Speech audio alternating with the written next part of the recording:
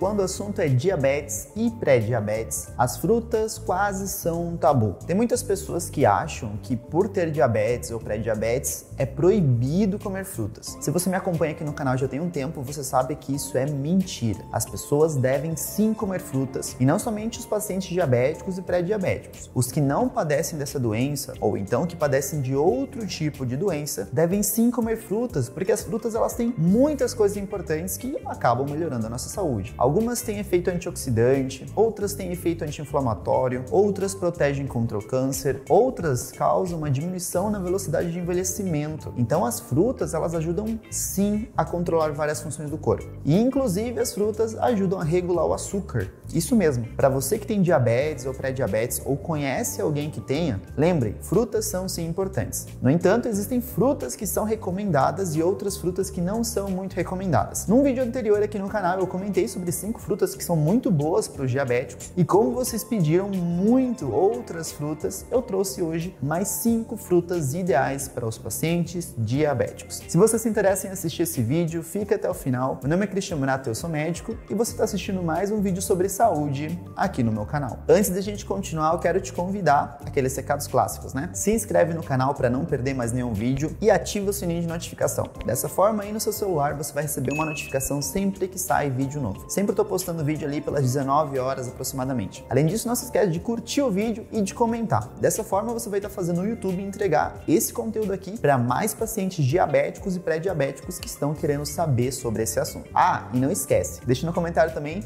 de onde você está assistindo esse vídeo. Tem bastante pessoas de todos os lugares ali do Brasil, inclusive né, do mundo, tem várias pessoas fora do Brasil também comentando sempre aqui no canal. Como eu comentei para vocês no início do vídeo, comer frutas é sim algo que os pacientes diabéticos e os pacientes pré-diabéticos devem fazer. As frutas elas têm muitos benefícios que auxiliam na nossa manutenção da saúde e além disso, elas também ajudam a controlar o nível de açúcar no sangue. No entanto, para a gente poder consumir fruta com tranquilidade, a gente tem que saber de dois fatores muito importantes que eu utilizei para poder trazer essas frutas aqui para vocês. E esses fatores são conhecidos como índice glicêmico e carga glicêmica. Mas afinal de contas, o que é o índice glicêmico e a carga glicêmica? Pessoal, o índice glicêmico, ele nada mais é do que a velocidade que leva para a fruta aumentar o açúcar no nosso sangue. Ou seja, se uma fruta ela tem um índice glicêmico muito alto, significa que ela não é muito boa para um paciente diabético, porque ela aumenta o açúcar muito rápido no sangue. E a gente não quer isso, né? A gente quer que o açúcar aumente devagarzinho e também não aumente muito. E a Sociedade Americana de Diabetes dividiu as frutas e os alimentos em três categorias de índice glicêmico. As frutas com índice glicêmico baixo baixo tem um valor entre 0 e 55. As frutas com índice glicêmico médio têm um valor entre 56 até 69. E as frutas com alto índice glicêmico têm um valor acima de 70. É importante afirmar aqui para vocês todas as cinco frutas que eu trouxe, assim como lá no primeiro vídeo, elas têm um índice glicêmico baixo, então elas são boas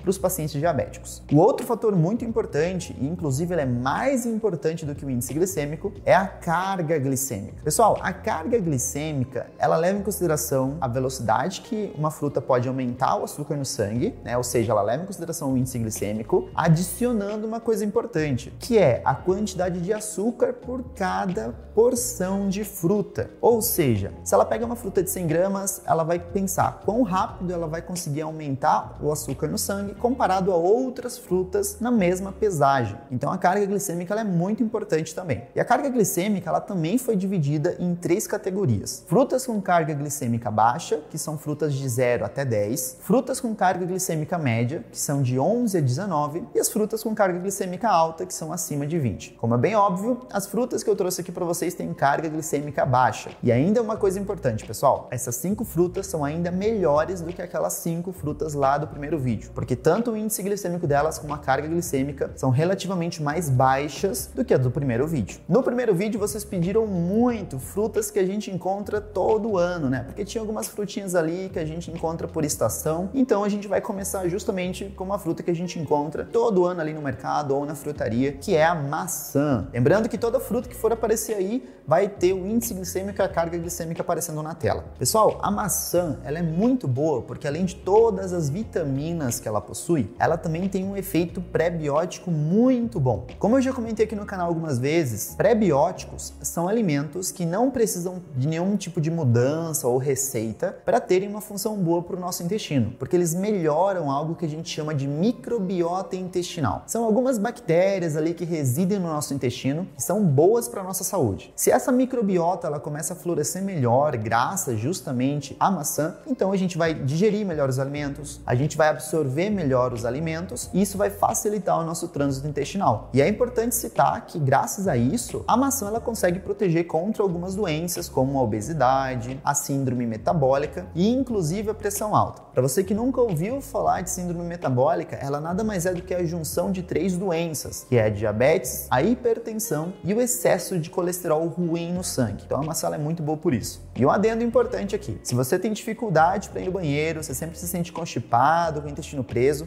a maçã também tem bastantes fibras, mas você precisa comer a maçã com casca. Existe mais ou menos 15 a 20% de fibra só na casca da maçã. Se você ficar tirando a casca da maçã para comer, você acaba diminuindo a quantidade de fibras dessa fruta. A segunda fruta que a gente tem aqui é o morango, pessoal. O morango ele é rico em vitamina C e quando a gente compara uma taça ali de morango com uma laranja, o morango acaba tendo muito mais vitamina C do que a própria laranja, que é bem reconhecida por culpa dessa vitamina. E o morango, além de ter um índice glicêmico bom e uma carga glicêmica muito boa, ele também é bom por dois efeitos. Ele protege contra o câncer e também diminui o envelhecimento. Isso porque o morango tem um efeito conhecido como efeito senolítico. O efeito senolítico significa que o morango consegue destruir algumas células do nosso corpo, chamadas células sencientes. Essas células são tipo células muito velhas que ficam no nosso corpo e células muito velhas vão perdendo a sua função. Você tem que entender que o nosso corpo ele tem muita célula, né, que são estruturas bem pequenininhas que formam os órgãos do nosso corpo, só que elas ficam se regenerando, elas ficam se dividindo, criando novas células e as mais velhas vão morrendo. Só que essas células sencientes, elas ficam ali, elas não morrem, elas esquecem de morrer e isso acaba piorando o nosso corpo, porque a gente já falou num vídeo sobre câncer aqui no canal que células muito velhas não funcionam direito e elas podem se tornar células cancerígenas. Então o morango ele acaba protegendo contra isso. Outra fruta muito boa aqui é a goiaba. A goiaba é uma fruta que ela é rica em vitamina C, assim como o morango que a gente tinha comentado. Ela também é rica em fibras, então para você que tem dificuldade, tem intestino preso ali, é importante comer goiaba também. E uma coisa interessante também é que a goiaba ela tem efeito antioxidante, ou seja, ela protege contra alguns tipos de inflamações que podem machucar o nosso organismo e também ela tem uma substância no seu interior chamado licopeno. É um tipo de polifenóide. Nossa, que palavra difícil. Vamos entender, pessoal.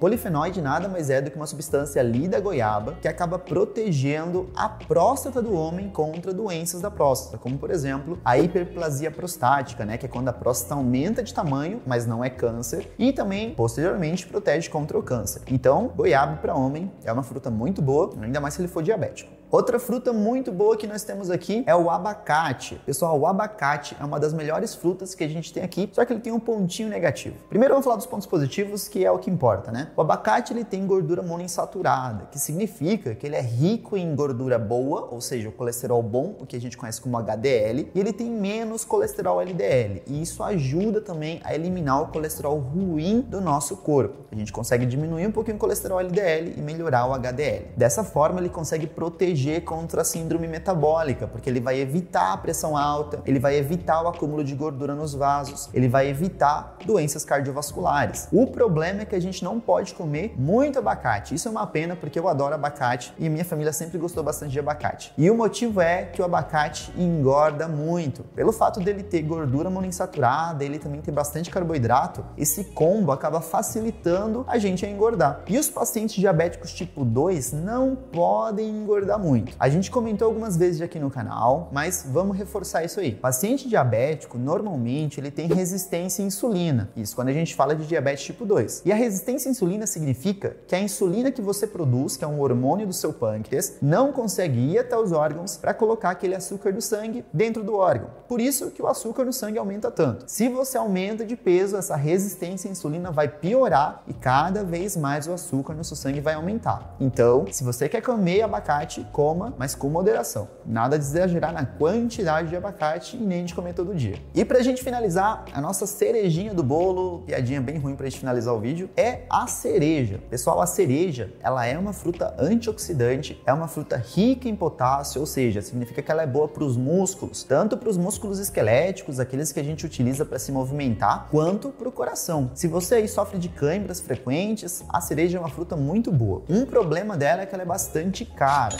então para algumas pessoas pode ser difícil o consumo. Outro detalhe importante que a gente tem que levar em consideração é o seguinte, pessoal: a cereja ela é muito rica em melatonina, que é o hormônio que a gente utiliza no nosso corpo para dormir. Isso mesmo, você aí produz melatonina e a cereja, a fruta, também tem melatonina. Então, se você tem dificuldade para dormir, a cereja é um alimento muito bom para você. Eu quero lembrar vocês de uma coisa importante. Quando a gente vai em festa ali, a gente vê um bolo, normalmente tem uma cerejinha lá em cima. Quase nunca essa fruta é a cereja de verdade. Normalmente essa é uma frutinha feita à base de chuchu, porque como a gente comentou, a fruta é um pouco mais cara. Então, não tô falando para você comer aquela, aquela cerejinha do bolo que é feita de chuchu. A base tem que ser a cereja real mesmo, a fruta. Outro dado importante aqui para vocês é o seguinte, pessoal: todas as frutas que a gente comentou aqui é para comer em natura, ou seja, sem fazer suco, sem bater, preparar vitamina, nada. É para comer a fruta pura mesmo. Se você bater essas frutas ou se você preparar uma vitamina, essa carga glicêmica, esse índice glicêmico vão mudar e inclusive podem aumentar, porque comer uma fruta é diferente de você tomar um copo feito de várias frutas. O copo de fruta com certeza vai ter muito mais carga de açúcar do que uma fruta sozinha.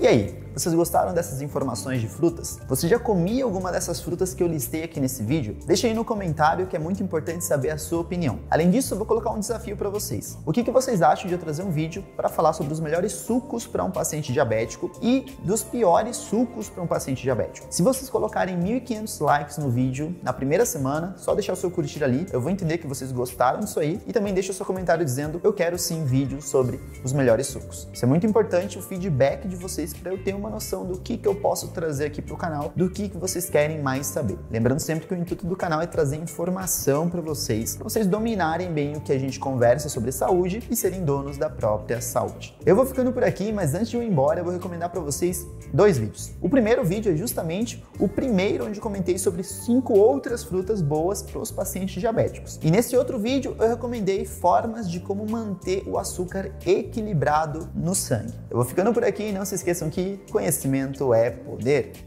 Tchau, tchau.